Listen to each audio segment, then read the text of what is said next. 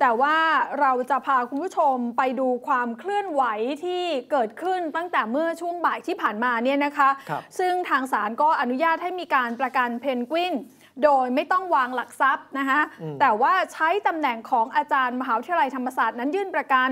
แล้วก็มีเงื่อนไขห้ามกระทำผิดซ้ำขณะที่เจ้าตัวก็เปิดเผยนะคะบอกว่าจะผลักดัน 10 ข้อเสนอ เพราะอ้างว่านี่ไม่ใช่เป็นการล้มล้างสถาบันค่ะครับ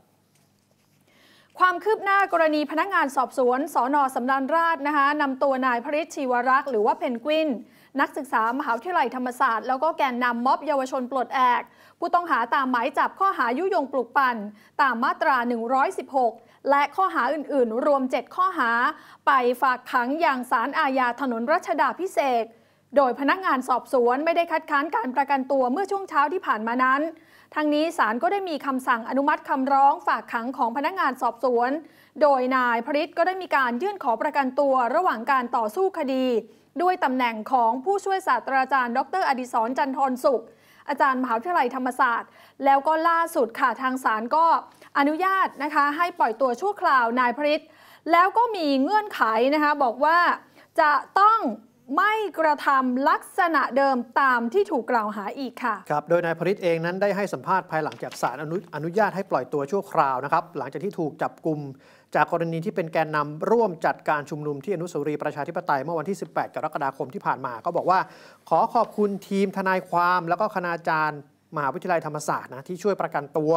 ที่ไม่ทิ้งลูกศิษย์แล้วก็ขอบคุณทุกคนที่มาให้กำลังใจ ซึ่งตอนแรกตนตั้งใจว่าจะไม่ประกันตัว แต่พอหารือกับครอบครัวแล้วก็ทนายความจึงคาดว่า หากไม่ประกันก็อาจจะเป็นปัญหาในวันพรุ่งนี้ เพราะว่าเป็นวันหยุดเข้าเยี่ยมไม่ได้ จึงเกรงว่าจะไม่ปลอดภัย โดยสารได้ตั้งเงื่อนไขห้ามไม่ให้กระทำผิดตามข้อกล่าวหาเดิม เช่นเดียวกับกรณีของทนายอานนท์นำพา แล้วก็นายพานุพงษ์จาดทองหรือว่าไม้ระยอง ซึ่งทนายความได้หารือกับเจ้าหน้าที่ ระบุว่าสามารถชุมนุมได้นะจึงยืนยันว่าตนจะไปชุมนุมใหญ่ในวันพรุ่งนี้ที่อนุสาวรีย์ประชาธิปไตยอย่างแน่นอนนายเพนกวินนะหรือว่านายพริตยังได้กล่าวอีกต่อว่าตนไม่เข้าใจนะว่าตำรวจจะไปค้นบ้านพักตนทำไม ทราบว่าไปหาอุปกรณ์ที่ทำผิดกฎหมาย ถามว่าไปหาอะไรนะไปหาป้ายผ้าหรือว่ากระดาษหรือว่าปากกาหรือไม่ มองว่าการค้นบ้านตนนั้นเป็นการใช้อำนาจคุกคามข่มขู่ประชาชน และตลอด 3 วันที่ผ่านมาก็ทราบว่ามีตำรวจหน่วยพิเศษเนี่ยคอยติดตามเฝ้าดูแลตนอยู่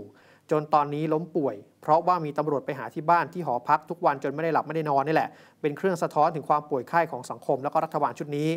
นายพริตยังได้กล่าวอีกนะครับว่าตนเนี่ยตั้งข้อสังเกตว่าที่ผ่านมาตนมีหมายจับอยู่แล้ว และไปสถานที่ราชการหลายแห่งแต่กลับมาโดนจับเมื่อวานนี้ เชื่อว่าเหตุผลมาจากการที่ตนเนี่ยขึ้นไปปราศัยที่มหาวิทยาลัยธรรมศาสตร์เรื่องของการปฏิรูป 10 ข้อ ตามที่ระบุในเอกสารบนเพจธรรมศาสตร์และการชุมนุม ซึ่งจะเป็นประเด็นหลักนะของการชุมนุมในครั้งนี้ มากกว่า 3 ข้อที่มีการเรียกร้องไปในตอนแรกด้วยนะครับ ค่ะ แต่ว่าอย่างไรก็ตามเนี่ยนะคะ เพนกวินก็ย้ำบอกว่าข้อเสนอดังกล่าวนั้น ก็ไม่ได้เป็นการล้มล้างสถาบันนะคะ แต่ว่าเป็นการสะกิดเตือนเพื่อให้ดำรงอยู่ได้ในสังคมปัจจุบันตอนนี้ค่ะเพนกวินบอกว่าตอนนี้เข้าใจว่ามีเพื่อนๆหลายคนที่มีหมายจับแล้วก็กำลังจะถูกจับ พวกผมยินดีที่จะช่วยเหลือ ตนไม่เสียใจที่จะถูกจับเพราะคิดมาตลอด แต่ว่าการถูกจับครั้งนี้ต้องไม่สูญเปล่า เพราะว่าข้อเสนอดังกล่าวนั้น จะเป็นที่พูดถึงมากขึ้น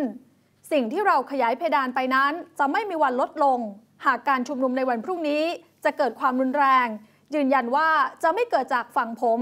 คนกลุ่มเดียวที่มีอาวุธ คือตำรวจและทหารไปฟังเสียงเพนกวินค่ะก็ต้องขอขอบคุณพี่น้องทุกคนนะครับผมที่ให้กำลังใจผม ก็ เดิมทีผมมีความตั้งใจ เดิมทีผมมีความตั้งใจว่าจะไม่ประกันตัว แต่ว่าหลังจากที่ได้หารือกับครอบครัว แล้วก็ทีมทนายแล้ว เห็นว่าวันพรุ่งนี้เนี่ย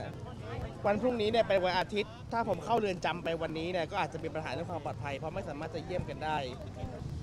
ก็ทางศาลทางศาลได้ก็ได้ตั้งเงื่อนไขในลักษณะเดียวกับพี่อานนท์ก็คือเอ่อก็คือห้ามชุมก็คือห้ามทำผิด ก็คือห้ามทำผิดข้อกล่าวหาเดิม ซึ่งผมได้ซึ่งทางทีมทนายของผมได้หารือกับทางเอ่ออาทิท่านอธิบดีศาลอาญาท่านก็บอกว่าจะไปชุมนุมก็ได้ ดังนั้นพรุ่งนี้ก็เจอกันฮะวันที่ 16 ผมไม่ไปไหนวันที่16เจอกันแน่ๆ